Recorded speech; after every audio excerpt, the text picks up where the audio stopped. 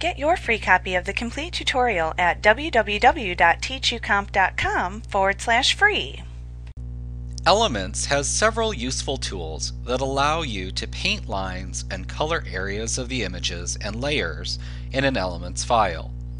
You can use the brush tool and pencil tool to paint and draw pixels in an image.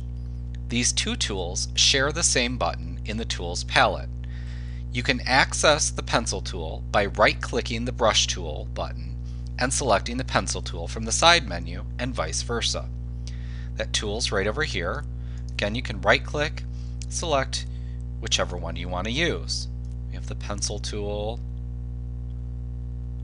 and go back and select the Brush tool.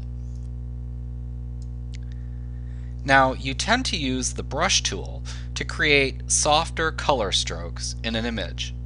The pencil tool creates hard-edged lines. You can alter these settings by changing the tool's options up in the options bar up here. You can also apply the airbrush effect to the brush tool to apply color in a spray effect if desired. There are also other tools that can be used to create pixel color changes in an image. We'll be looking at using these tools in fill selections that we make in our images in upcoming lessons.